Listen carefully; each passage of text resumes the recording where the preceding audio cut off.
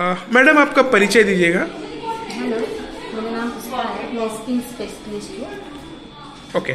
पुष्पा जी हमने सुना है कि आज से नहीं बल्कि पुराने ज़माने से ही लोग एलोवेरा का अपने स्किन में इस्तेमाल करते हैं और एलोवेरा के कई सारे फ़ायदे हैं। तो क्या आप कुछ बताएँगे कि एलोवेरा लगाना मतलब हमारे स्किन के लिए कितना फ़ायदेमंद होता है और क्या क्या इनके कुछ फ़ायदे हैं ज़रा बता सकते हैं?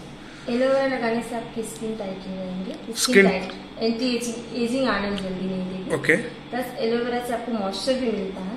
प्लस एलोवेरा लगाने से आपके फेस पे पिंपल्स वगैरह नहीं आएँगे.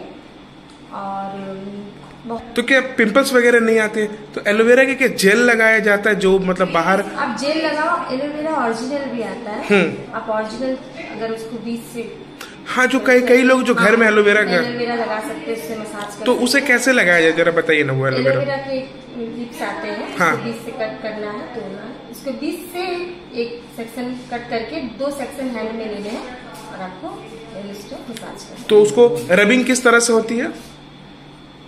उसको आपको इस तरह से स्क्रब करना है हल्के हल्के हाथों से आपको ओके। और ये रोज़ाना कर सकते हैं लोग? जी ये रोज़ाना का कितने देर? ये आपको ज़्यादा नहीं पाँच मिनट। तो कहीं ना कहीं स्किन ग्लो करेंगे। स्किन ग्लो करेगा स्किन टाइट पिंपल्स नहीं आएँगे। एलोवेरा के बहुत से फ़ायदे हैं। ऐसे देखा जाए तो एलोवेरा हेयर में भी लगाते हैं। ओके हेयर भी हेयर फॉल नहीं होते हाँ, हैं आपके हेयर भी अच्छे रहेंगे। अगर हेयर फॉल हरे वो भी रुकेंगे। हेयर भी अच्छे रहते हैं। एलोवेरा के जूस बना के लोग पीते हैं। अच्छा कहीं ना कहीं जूस की भी इस्तेमाल होती है। एलोवेरा बहुत से फ़ायदे में काम आते हैं। Thanks a lot